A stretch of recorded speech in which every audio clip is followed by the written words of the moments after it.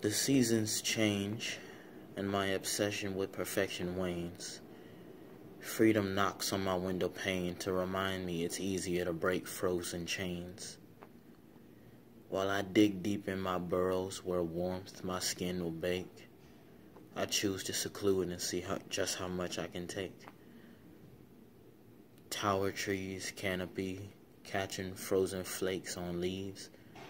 Some things life leaves to revisit in the spring. Cold days and long nights, it's hard to keep fires light. The pit fizzles and dies. I see glowing in the ice. I see glowing in the night. Lights float to the sky and sit high in an otherwise starless night.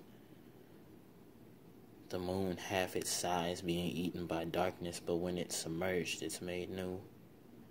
The moon set apart in the sky from the stars, reformed in the silence, for noise is a nuisance. The cold flakes fall over everything truly. The blankets are purely cold, no one would use them. The twinkle of the heavens makes sounds of beauty. Music, sweet music.